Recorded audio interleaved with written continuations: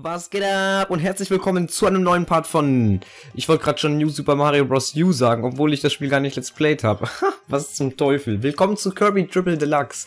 Und wir sind hier beim letzten Part hier so stehen geblieben bei 6 Plus oder wie ich es lieber nenne, ist es ähm, 6 Spezial oder ja 6 EX Level oder so. Keine Ahnung.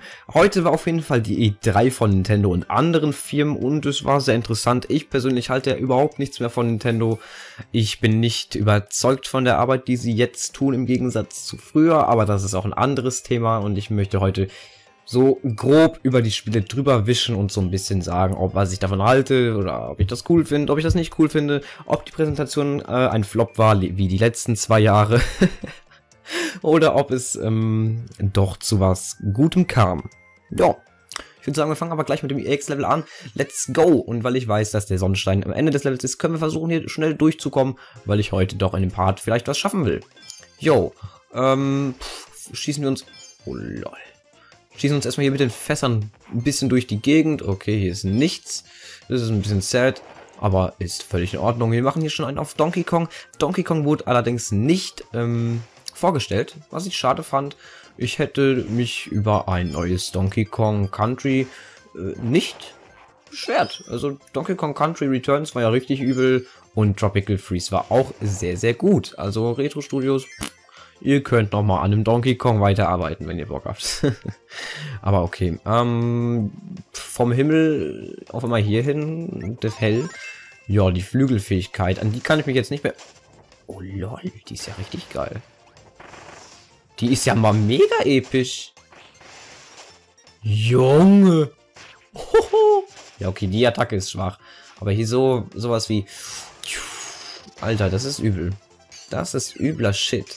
Und ja, guck mal an. So zwei Federn bringen diesen Baum zum Einsturz. Seems legit.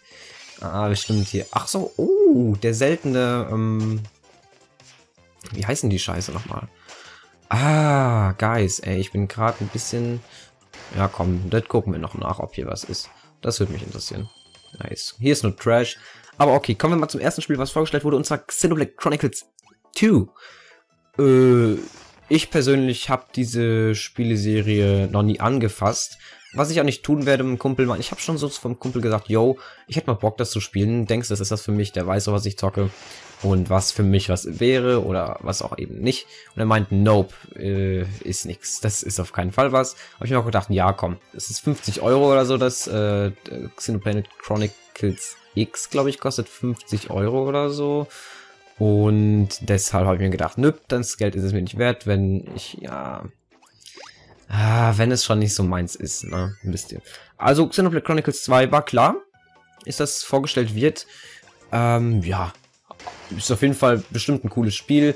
Ist nicht meins, aber ist bestimmt ein echt geiles Spiel für die, die äh, dieses Genre halt abfeiern. Und deshalb, äh, why not, ne? Also, habe ich jetzt nichts gegen. Oh, diese Balls, die sind echt ein bisschen... Oh, warte mal. Ah, nee, komm, ich will die Flügel. Die Flügel sind doch irgendwie echt geil, muss ich zu... Nein, nein, nein. Gerade gesagt und schon auch wieder verloren. Sad Moment. Okay. Mm, dann wurde vorgestellt das neue Kirby-Spiel. Damit hätte ich null gerechnet. Oh, jetzt ist die wieder geil. Weil, ohne Witz, das... Obwohl, komm. Nehmen wir mit den Käfer. Neues Kirby-Spiel. Hätte ich niemals erwartet.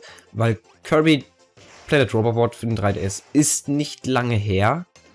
Und jetzt neues Kirby und das für Switch. Wow, echt episch. Und das Geile ist, es erinnert mich sehr, dieses Spiel, es erinnert mich sehr an den Wii-Ableger. Oh, ich glaube, der rastet jetzt aus. Ja, wollte ich auch gerade sagen.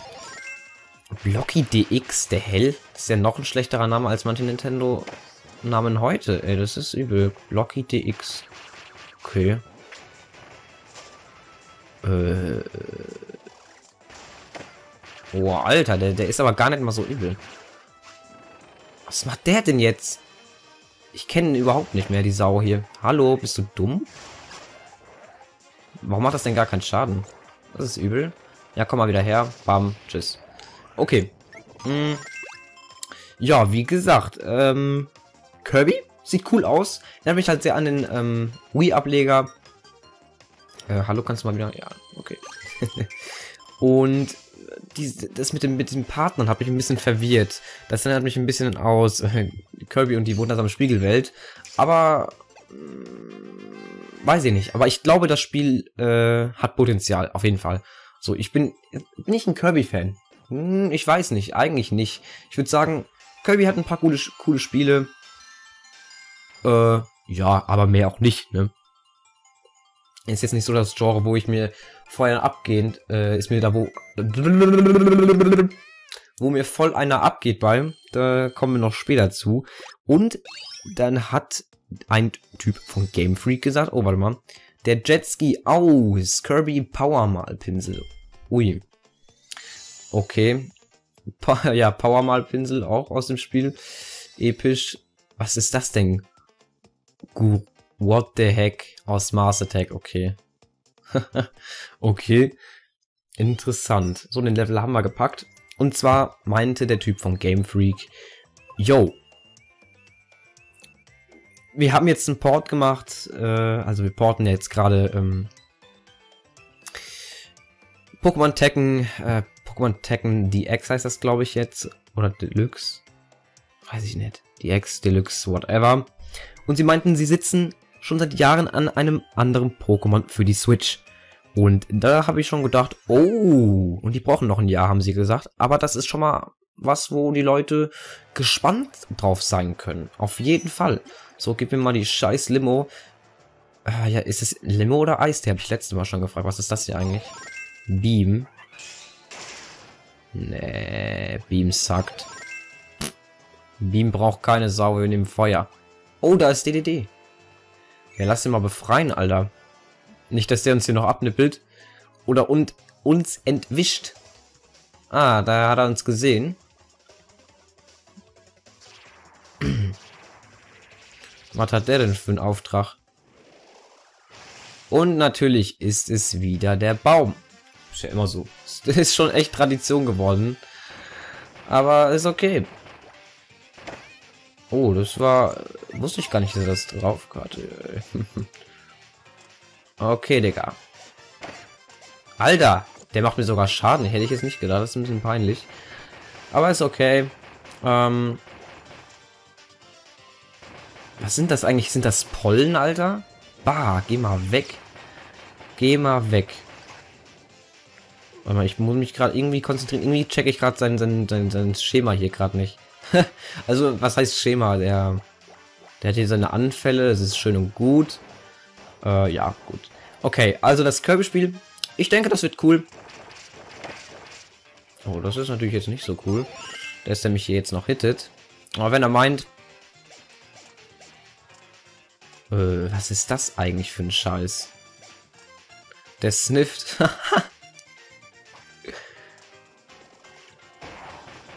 so. So, dann verbrenne ich ihn erstmal. Ich glaube, ich gehe gleich halt auf das Thema ein. Weil kein Bock jetzt gegen den Boss zu verkacken, ey. Oh Mann, ey. Ja.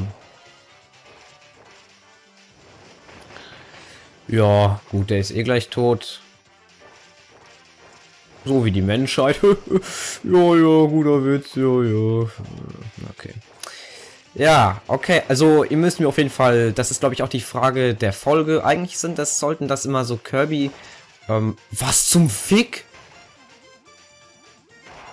Äh, der hat aber richtig fettes Ding, du, ey. Alter, was machst du schon wieder? Ah, okay, jetzt bist du tot. Ja, wie gesagt, ihr müsst mir jetzt unbedingt, das ist echt die Frage ähm, der Folge. Eigentlich sollte es ja immer, wie schon gesagt, auf das LP bezogen sein. Das ist in dem Fall halt Kirby. Aber ähm, das ist doch schon was Besonderes. Deshalb äh, ist die Frage der Folge, wie ihr die E3 fandet. So, dann haben die halt gesagt, dass die am Pokémon sitzen und dann kommt etwas, womit ich nicht gerechnet habe, was sich schon ein bisschen rumgesprochen hat, aber ich nicht geglaubt habe, weil Metroid äh, eigentlich tot war, so ein bisschen. Und äh, Metroid Prime 4 wurde tatsächlich angekündigt. Ich weiß nicht, ob ich mich darüber freuen soll oder eher ähm, in der Badewanne mich ritzen sollte, weil jetzt kommt Nintendo, finde ich, macht im Moment nicht wirklich die besten Spiele. Also ist jetzt meine optische Meinung dazu, ganz klar. Und äh, ja. Und deshalb weiß ich nicht, ob ich es lieber fände, wenn Metroid aussterben würde, aber wenigstens gut in Erinnerung bleibt, weil nicht, dass die dieses Spiel verkacken. Das würde ich den sehr übel nehmen. Äh, ja, das würde ich den wirklich sehr, sehr übel nehmen. Also Metroid Prime 4, ich freue mich zwar irgendwie, aber ähm, man muss es auch kritisch sehen. Was heißt kritisch sehen? Man muss aufpassen, man darf sich nicht zu viel erhoffen, weil sonst wird man enttäuscht. Das habe ich sehr oft von Nintendo erfahren müssen. Und das ist leider sehr, sehr traurig. Ne? Aber dennoch äh, gibt es gute Spiele von heute oder auch äh, jetzt zwar nicht alle. Ich fand damals äh, äh, gab es wesentlich bessere Spiele, definitiv. Aber ist auch egal.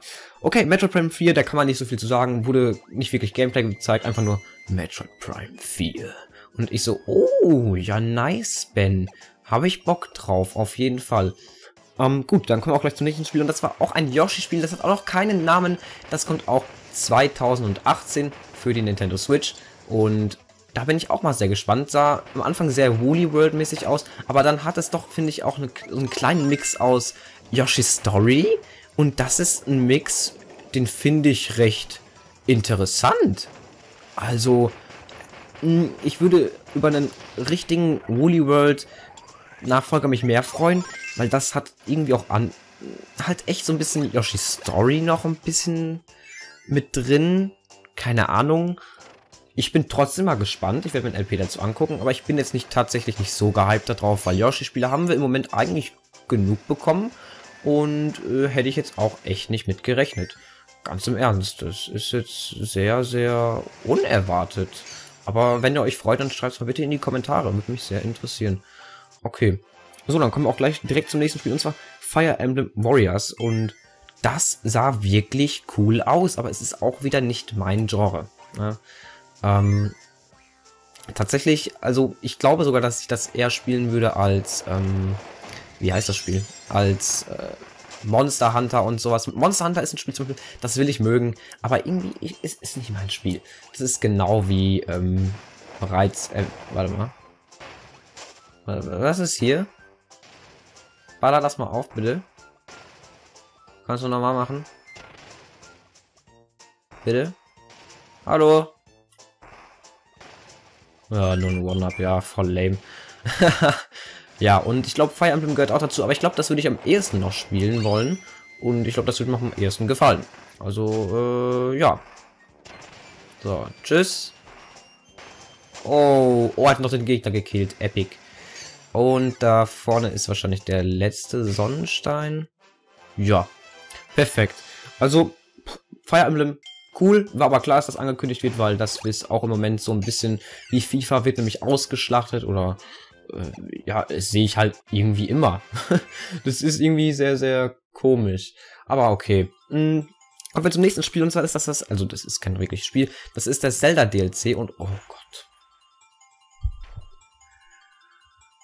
Oh, oh, oh, oh. Sehr, sehr, sehr schlecht. Und zwar ist das der Sternenflitzer aus Kirby's Fun Pack. Cool, kenne ich gar nicht. Muss ich sagen. Ähm, Ramse? Heißt das Ramse? Fun Pack, okay. Das war alles, was ich gefunden habe. Oh. Oh, oh, oh. Ich weiß nicht, ob es mehr gab, aber ich denke schon. Traurig. Okay, wir haben wenigstens alle Teile. Und ab zum nächsten Level. Wie viele hat das eigentlich? Das sah jetzt aus, als ob das mehr hatte. Ich habe gerade nicht drauf geachtet. Vier Stück. Ach du Scheiße. Oh, der Bogen. Nein, nein, nein, nein, nein, nein, nein. Der Bogenschütze. Ich liebe den. Der ist episch. Genau. Okay, das ist das Zelda DLC und das sieht richtig, richtig, richtig cool aus. Ohne Witz. Da freue ich mich sehr drauf. Würde ich kaufen. Ähm, kostet 20 Euro. Ich weiß nicht, ob das zu viel ist. Ich weiß aber auch nicht genau, was alles drin ist. Also müssen wir da mal aufpassen. Ähm, ja, wir nehmen jetzt einfach den Boomerang. Äh, kannst du bitte aufmachen? Danke. Danke, Ben. So, okay. Ja, Zelda DLC, da muss man eigentlich nicht viel zu sagen. Freut man sich wahrscheinlich drauf. Und äh, ich bin mal gespannt, was da alles ist. Neue Missionen. Und ich hoffe, dass die Map noch richtig weit erhöht, äh, erhöht, erweitert wird. Wäre auf jeden Fall episch. Ich meine, die Map ist schon gigantisch fett und was mich auch sehr gefreut hat, weil ich, ich liebe, also Open World Games, I love that so much. Das ist, das, das, das ist episch. Und die Welt erweitern? Ja, natürlich. Also, das ist ganz klar. Ist das ein Muss ist. Und bam. Oh, er hat mich noch getroffen, Alter. Was ist das denn für ein CSGO AWP-Typ? Ist wahrscheinlich Russe, weil die gehen richtig ab. ah. Oh, das ist geil, dass diese, diese Fähigkeit unter Wasser ähm, funktioniert. Ich finde die Musik jetzt ziemlich äh, interessant, wenn ich das mal so, so anmerken darf. Und hier ist erstmal 8 Tonnen, Alter. So viel wiegt auch Rainer Kalmund. ja, okay. Der war mies. Okay, sorry, Alter. Warte mal. Ach so, das kann ich auch einfach so steuern. Ach so, interessant. Ja, okay, cool. Ähm, ja. Ja, Zelda DLC, ihr wisst Bescheid. Okay, jetzt kommt schon zu einer Sache, die ich überhaupt nicht ab kann, aber auch nur aus einem Hintergedanken so. Und zwar ist das Mario und Rabbits. Äh, die Rabbits waren so gut wie tot, könnte man sagen. Und jetzt sagen die sich, hm, okay, wir müssen ein neues Rabbit-Spiel machen. Aber warte mal, das wird sicher nicht verkaufen. Lass uns mal jemanden nehmen, der viel Geld macht. Ach, Mario. Ihr, ihr wisst schon, worauf es ankommt. Ihr, ihr, wisst schon genau, was ich meine. Äh, Mario passt da nicht rein. Die, allein diese, diese zwei, diese, diese, diese, diese Kombination aus dem Mario und den Rabbits passt überhaupt nicht. Und auch vom Game, man hat ja Gameplay jetzt gesehen. Und es ist einfach nicht mein Spiel. Ich will dieses Spiel vergessen. Äh, wer, wer, wer es sich kaufen will, soll es tun. Ich hoffe, es ist kein richtiger Vollpreistitel. Also so äh, 40 Euro oder so ist auch schon viel zu viel für dieses Spiel finde ich jetzt. Absolut. Aber gut, äh, eure Meinung ist hier sehr gefragt. Also das, zu dem Spiel will ich mal verschiedene Meinungen hören. Auf jeden Fall. Oh, Bananen, Alter. Episch. Ich muss ich auch mal essen. Esse ich echt viel zu wenig. Auch genau. Alter, Obst. Ich esse es viel zu wenig Obst und Äpfel sind wirklich geil. Äpfel sind echt geil. Ah, ja, also Mario und Rabbits ist wirklich das Spiel bis jetzt, wo ich sage, nee. Mm -mm, ist nicht ist nicht meins. Dann kommt ein weiterer Port, aber ist man ja gewohnt. und zwar ist das Rocket League. Und Rocket League ist ein Spiel, das habe ich sehr, am Anfang sehr gefeiert, aber durch den Hype habe ich mir gedacht, äh, Rocket League, also ihr wisst schon, äh, Rocket League, ja, kann man machen, äh, ist jetzt nicht die Welt. Aber es ist ein Spiel, was die Switch dann hat und das tut der Switch wahrscheinlich nicht, äh, also wird ihr nicht schaden. Sagen wir, wie es ist. Ist so. Wird ihr nicht schaden. Warum nicht? Also habe ich jetzt persönlich nicht so viel gegen. Bei der Wii U ist das ein bisschen was anderes, weil die hat ja fast gar keine Exklusivtitel mehr und äh, finde ich ein bisschen lame. Aber äh, weiß ich nicht. Okay, gut, dann kommen wir auch schon zu dem eigentlich letzten Spiel. Eigentlich jetzt kommt. Äh, äh, und zwar Mario Odyssey.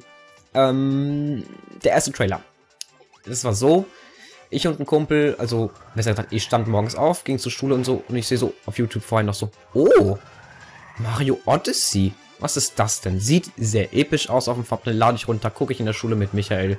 Michael ist der, mit dem ich die, ähm, den, den, den, den Mario Party Together mache. Was geistesgestört ist, by the way, das ist, äh, wir labern dann nur Müll. Absolute Grütze, aber das ist auch das Witzige. Und ja, genau er ist noch kritischer in Videospielen als ich und das heißt schon was eigentlich. oh, what the hell? Atombombe? Hallo? Was, zum Teufel? Sind wir hier jetzt äh, hier ein äh, kleiner Attentat oder was? Hier auf Kirby? Soll dann die Scheiße? Ja, genau. Und... Oh, lol. Genau, was habe ich eigentlich jetzt noch? Ach ja, genau, Odyssey. Wir haben es angeguckt und wir beide echt. Wir beide so... Odyssey? Sieht nicht schlecht aus. Auf gar keinen Fall. Sieht super aus. Aber dann kam etwas, was hätte nicht sein müssen. Und zwar ist das... Ähm ich muss immer noch darüber lachen, ey, das ist so lächerlich. Warte mal, ich glaube, ich lasse mich hitten, weil ich will das mitnehmen. Und zwar, der Trailer war vorbei. Der Trailer war vorbei. Und dann kam dieser Vorhang. Wieso? Wir gucken uns beide wirklich an und so. Sieht, sieht gut aus. Sieht echt episch aus. Nintendo hat was Geiles gemacht. Dann ging der Vorhang auf und dann Mario so, hm? Und wir so, was kommt denn jetzt? Und dann beginnt der Horror. Die Mütze bekommt Augen. Nachdem es Fabian gab in Mario, Super, äh, Super Mario, ja klar. In Paper Mario Color Splash habe ich mir gedacht, oh Gott, äh, ja, Fabian, ich fand das, ich fand dieses Wortspiel nicht mal gut. Also ich fand das richtig lame. Lamer Scheiß, wirklich. Und äh, seitdem so habe ich mir gedacht, äh, und Nintendo und Charakter, äh, und dann kommt sowas. Also finde ich extrem lame hat für mich, wir haben uns beide, wir, haben, wir mussten lachen, wir, wir konnten nicht mehr. Ich hab, wir haben echt gedacht, der Trailer ist vorbei, aber das hat mich ein bisschen getriggert, innerlich.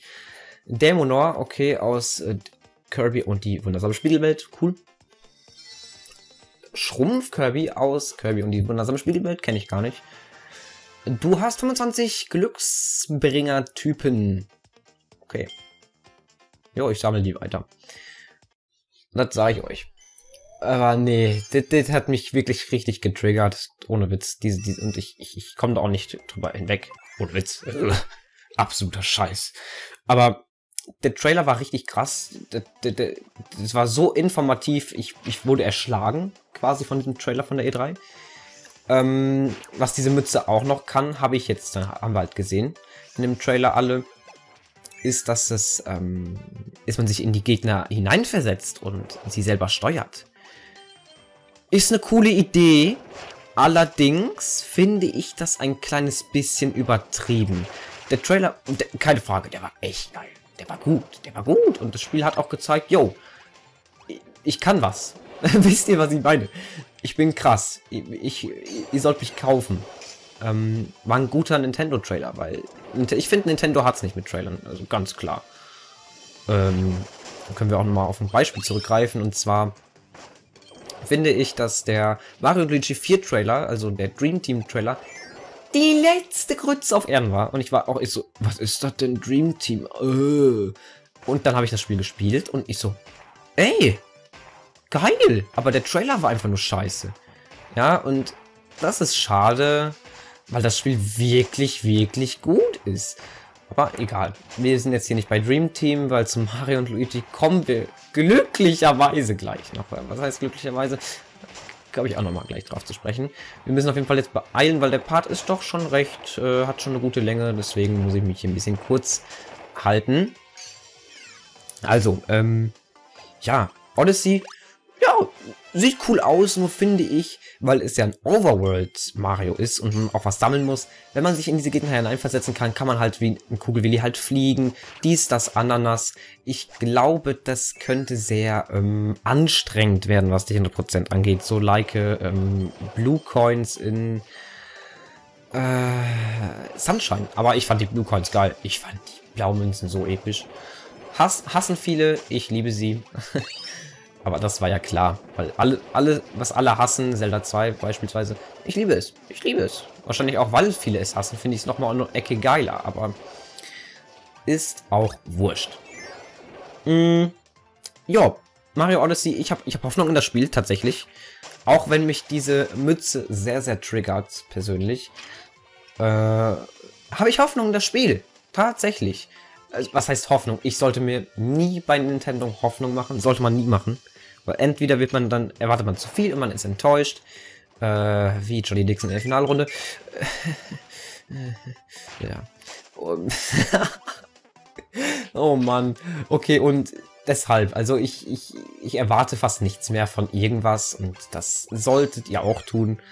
Natürlich, ich war von, von Zelda, muss ich sagen. Oh nein, bitte, bitte sag mir nicht, das reicht nicht. Gott sei Dank. Zelda, klar, ich, ich war gehypt drauf, weil das, das muss ich sagen, da war ich echt gehypt drauf und das Spiel hat mich auch nicht enttäuscht. Außer der Final Boss. Traurig, traurig, aber auch wieder ein anderes, ein anderes Thema. Also erstmal erstechen wir die ganzen Mongos hier. Like Indianer. Okay. Mm, nee, Indiana Jones möchte ich nicht haben. Ich finde den Speer sehr, sehr cool. Oh, ich erinnere mich an was, Guys. Ich erinnere mich an was. Dass hier irgendwo ein Schlüssel war und man sehr schnell sein musste. Oh, das war dumm. Okay, ich, ich habe den fast sogar noch gerettet, Alter. Äh, ja, war hier. Okay. So, Odyssey wird bestimmt gut. Keine Frage. Aber ich persönlich glaube, kein 3D Mario der Welt schafft es jetzt noch über Mario Galaxy 2. Bin ich jetzt persönlich der Meinung, aber ich, ich glaube, entweder kommt Odyssey sehr nah dran oder es kann es doch schaffen. Ich meine, der Trailer war gut, ähm, heißt aber noch lange nichts. Heißt noch lange nichts. Man kann auch Trailer gut machen, auch von Filmen beispielsweise. Und dann ist der Film trotzdem kacke. Warte mal, du bist ein Cheater, ne? Du, du, du hast da durchgeschlagen. Das nehme ich dir übel. Cheaten ist äh, No-Go, genau wie Safe States. Aber okay. Oh, ich sehe schon, da oben ist wieder was. Gut, ähm, und dann wurden noch... Ja gut, kommen wir mal jetzt... Was, ja, was heißt nicht zu Nintendo? Sega hat ein neues Sonic angepriesen und man weiß ja, was Sega heute macht. Äh, ja, das war ein bisschen unerwartet, aber okay. Sega heute, hm, ist ja halb tot liegt schon so mit einem, ähm, ja, mit, eigentlich schon mit beiden Beinen im Grab. Aber sie haben sich aufgerappelt und haben einen super Trailer zu Sonic Forces rausgehauen und ich bin positiv überrascht. Ich werde mir es angucken. Ich weiß nicht, ob ich es mir holen werde. Ich weiß auch nicht, für welche Konsole das alles kommt. Das weiß ich jetzt gerade spontan nicht. Ähm, aber ist äh, in Ordnung. Äh, ich gucke es mir auf jeden Fall an. Ob ich selber spiele, weiß ich nicht aber es sieht wieder sehr gut aus. So eine Mischung aus Sonic 2006 und Generations, finde ich, hat das. Und das, das sind zwei Spiele, die mir sehr gut gefallen haben. Ja, also ich habe Sonic 2006 noch nicht gespielt, aber ich gucke gerade im Moment ein Let's Play von einem YouTuber und das sagt mir doch sehr zu. Und zwar ist das hier der Feinstein aus Kirby Schattenbedrohen Traumland. Ja. KO Kirby aus Kirby Master Attack haben wir hier noch? Den Herzstock aus Kirby Streamland 3. Der Herzstock, okay. Luft, Luftikus aus Kirby's Dreamland 3. Was ist denn Luftikus? Sieht aber irgendwie creepy aus. Oh, guys, irgendwie, weil ich jetzt gleich noch, es sind noch zwei Spiele da. Und ich glaube, damit können wir das Level noch füllen also den Part noch füllen und ich möchte jetzt hier nicht rumstehen, weil ich auf ein Spiel doch ein bisschen genauer drauf eingehen werde, weil ich das nicht erwartet hätte und echt sehr froh drüber bin, aber ich auch da was zu bemängeln habe. Was heißt zu bemängeln habe? Ich habe einfach Angst. aber zu dem Punkt kommen wir gleich. Wir gehen ins Level äh, Geisterlevel oder was? Nein, nein, nein. Hallo, bist du dumm? Ich will das auch behalten. Ja, geh mal weg. Oh, schön aufgespießt. So macht man das mit Menschen. Äh, Habe ich das gerade gesagt? Nein. Okay. Nee. okay, lassen wir das. Gut. Ähm, kommen wir zum nächsten Spiel. Das ist ja ein Remake. Und zwar haben sie halt jetzt ange angekündigt. Julian, du weißt Bescheid, was ich jetzt gerade meine. Hm, nee, Schmarrn. Äh, Oh Mann, ich laber wieder nur Müll, ich merke schon. Es ist gerade mitten in der Nacht und äh, ja, da... Oh, Fake Doors, sehr interessant. Ey, das Level gefällt mir super gut bisher. Sehr coole Atmosphäre, weil äh, ne, Soundtracks in Videospielen sind mit das wichtigste Element. Aber okay. Mhm, diese, diese, diese Spielchen. Aber kommen wir jetzt endlich zu dem Scheißspiel und zwar ist es Metroid Samus Returns. Und dieses Spiel gab es schon mal, auch ich glaube auf dem Game Boy Color. Lasst mich lügen, also berichte ich mich in den Kommentaren, falls es nicht auf Game Boy Color war. Und es war nicht wirklich anzusehen, auch wenn ich Grafik äh, sehr, sehr, sehr, sehr, sehr, sehr, sehr, sehr, sehr, sehr überbewertet finde. Und Grafik mich einen Scheiß interessiert. Ähm, muss ich sagen, dass man das Spiel nicht wirklich so, also es ist nicht angenehm war, es zu spielen. Mm, und jetzt kommt wirklich ein Teil für den Nintendo 3DS. Also ein Remake und ich bin echt froh. Sehr cool. Freue ich mich extrem drauf. Sah sehr, sehr, sehr cool aus. Das war genau das, was ich will. Also, was heißt, was ich will? Weil ich wollte ein 3D-Samus gerne wieder haben. Ein neues. Aber ich wollte unbedingt auch noch ein 2D, weil ich die sehr, sehr geil finde. Oh, das war eine gute Falle. Also, oh, nicht schlecht, Nintendo. Hat mir gut gemacht. So, und du Affe, kannst es mal sehr, sehr, sehr, sehr gerne lassen. Ah, ich habe die Challenge vergessen. Welche Challenge ich nehme für, für, für das Let's Play. Aber ich glaube, es ist eh noch nichts passiert, was äh, ich nehmen wollte. Also ich glaube, das mit dem einmaligen Heilen, das war cool von äh, Tube Highlights. Oh Gott. Äh, oh, oh, oh, oh, oh, oh. Oh, das war gar nicht schlecht. Warte mal, ich heile mich jetzt einmal, weil er meinte einmal heilen pro Level. Warte, ich habe nichts zum Heilen. Oh, das ist gerade ein bisschen bitter. Tatsächlich. Aber ist in Ordnung. Hm, ja, ich sehe jetzt gerade schon genau, was hier abgeht. Bam, tschüss. Und hier kann man nämlich rein. Das fand ich ein sehr cooles Secret damals. Und hier ist ein Donut. Donuts sind richtig episch. Aber dafür habe ich schon, schon im letzten Pod was du gesagt. Netto Donuts for the win. Warte mal, habe ich jetzt... Ja, ich habe zwei Stück. Okay, cool. Mm. Ich bin sehr, sehr froh über das Remake, sage ich mal. Äh, Remake, ja doch. Aber jetzt kommt etwas, was ein Gerücht war und wirklich gestimmt hat und was mich echt, ich saß da mit offenem Mund.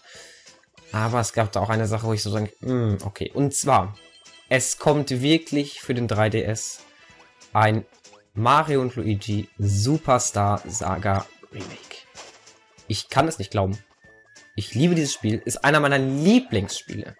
Ohne Witz. Es ist einer meiner Lieblingsspiele und hier ist jetzt so die Sache. Nintendo, ich vertraue euch ja nicht mehr, wirklich. wenn ich das so sagen darf. Ja, doch, das, das, natürlich darf ich das so sagen, auf jeden Fall. So, das Spiel. Episch, ihr motzt das nochmal auf mit neuer Grafik, obwohl ich die Grafik da extrem geil finde. Also weil es halt oldschool ist und retro und so.